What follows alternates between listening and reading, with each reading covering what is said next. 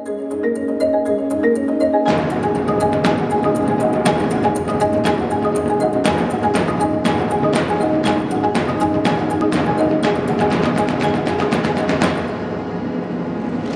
and gentlemen, please welcome the head of Skoda Communications, Mr. Pike von Bestenbuster.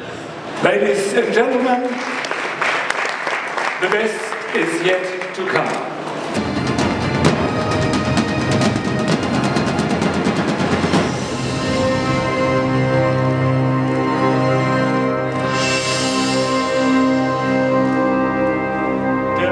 Vorstandsvorsitzende von Skoda, Professor Winfried Fahland.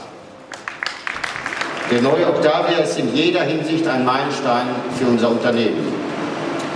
Die Kunden weltweit sind anspruchsvoller geworden und dem trägt der neue Octavia natürlich Rechnung. Er setzt Maßstäbe in seiner Klasse.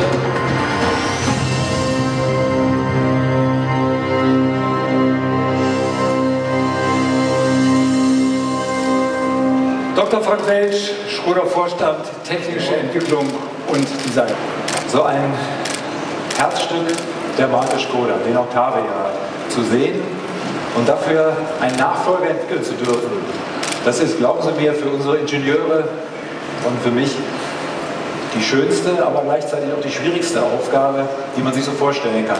Wenn der Skoda Octavia das Herz der Marke ist, ist er die Seele von Skoda. Ich meine unseren Chefdesigner Josef Kaban.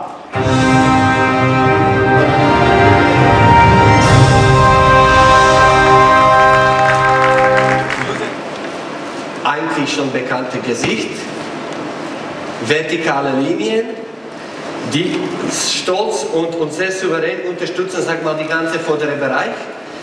Klar sauber positioniert Skoda Emblem. Da sieht man diese, diese Hochwertigkeit und diese Selbstbewusstheit, wie das Auto da eigentlich sich zeigt.